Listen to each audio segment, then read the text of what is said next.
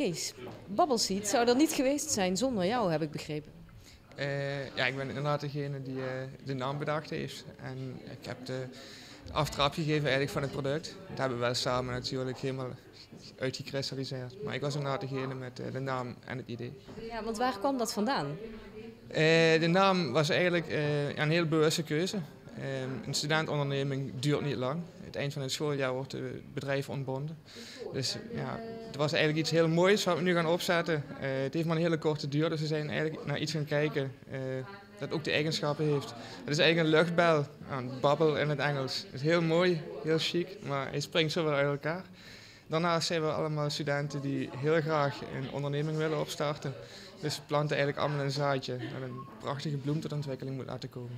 Samen is het Bubble Seed. Ja, wat is uh, creativiteit, denk je, jouw sterkste punt? Denk ik wel. Ik, denk, uh, ik ben vrij creatief op dat gebied. Wist ik eerst eigenlijk ook nog niet helemaal. Ben ik pas achtergekomen eigenlijk nou met uh, de Student Company inderdaad. Ja, ik ben dus de financieel manager samen met Martijn. En wij moeten dus de financiën verzorgen. En uh, wat we nu al hebben gedaan is het ondernemingsplan, is het financieel plan. Kijken hoe duur, uh, welke kosten we denken te gaan maken en uh, welke winst we denken te gaan maken. En ja, dan moeten we dan verslag van maken. En die moeten gaan kijken hoe duur dat we denken dat het product gaat worden. En dat zijn eigenlijk de dingen die wij doen. Is het meegevallen of tegengevallen? Nou, ik vind cijfertjes en zo wel heel erg leuk, maar het is niet ik vind het niet altijd heel makkelijk. Ja, mijn rol binnen het project is dus uh, afdeling productie en, of, uh, productie en inkoop. Uh, uiteraard spreekt voor zich dat ik dus erachteraan ga om materiaal zo goedkoop mogelijk in te kopen en ja, zoeken welke plaatsen ik daarvoor kan inschakelen. Hoe doe je dat? Um, stoute schoenen aantrekken. Dus eigenlijk bellen, e-mailen, ergens binnenlopen en dan gewoon uitleggen wat je doet en dan kijken of er interesse voor is inderdaad. Ja, mijn rol binnen uh, is eigenlijk dat ik verantwoordelijk ben voor de promotie en, PR eh, binnen het bedrijf. Wat wil zeggen dat ja, alle externe communicatie eigenlijk onder mijn verantwoordelijkheid valt. Bijvoorbeeld het regelen van deze avond, het contact met jullie, um, promotieboekjes. Dat zijn, is eigenlijk mijn taak. En dat is tot nu toe heel goed gegaan. Het enige wat ik daar jammer aan vind is, promotie komt pas vrij laat op gang. Als je nog geen product hebt, hoef je ook nog geen promotie te ontwikkelen. Dus het komt eigenlijk nu pas echt op gang.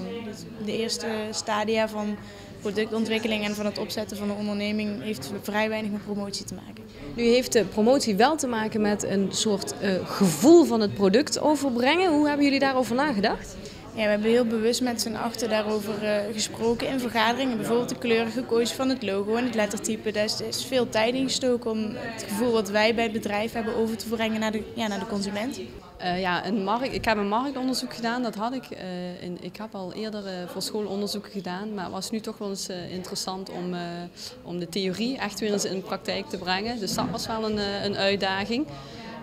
verder het vergaderen, want het, op zich vergaderen gaat wel, maar het moet ook effectief vergaderen zijn. Je zit toch met acht man, acht verschillende meningen. Je zit met de drie begeleiders erbij.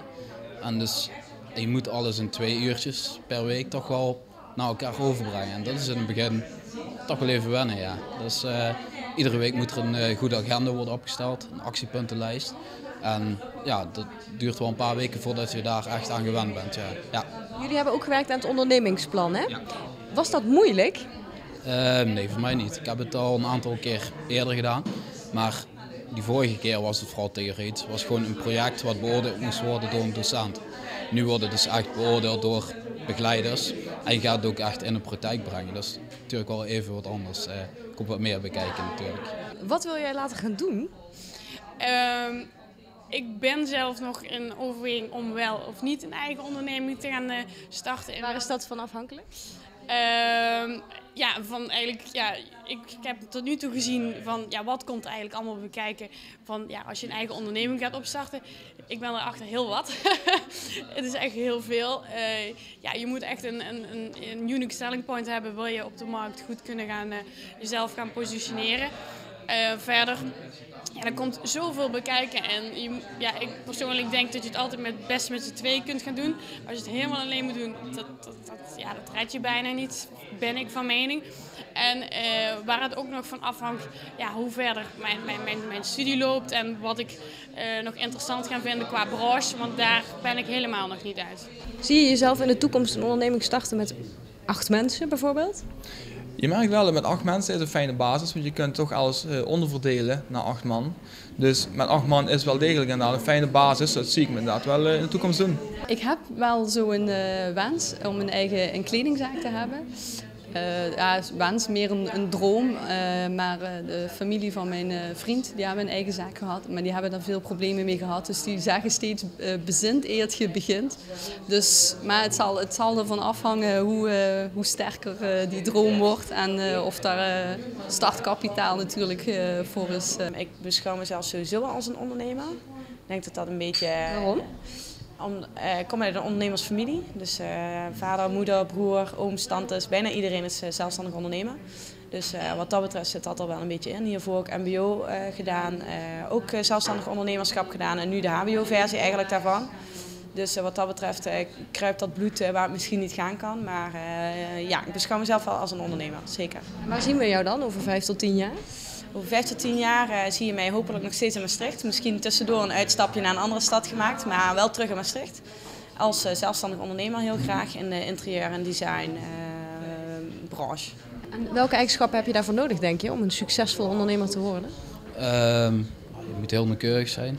Je moet, ja, je moet zelfstandig zijn, maar je moet ook goed kunnen samenwerken natuurlijk. Um, je moet toch wel op de hoogte willen blijven van, uh, van de huidige ontwikkelingen. Ja. Dat zijn allemaal eigenschappen die jij jezelf toedicht? Ja. Bepaalde eigenschappen wil ik nog wat verder ontwikkelen. Maar, uh, ja. Zoals? Um, zoals het goed plannen. Denk je dat Babbelseed een doorstart zal maken? Als het, uh, als het toch, uh, ja, ja, ik denk het wel. Als het goed, uh, goed loopt en als we het goed uithouden met achten en uh, hopelijk nog meer uh, geïnteresseerden zijn, dan moet dat wel kunnen, ja.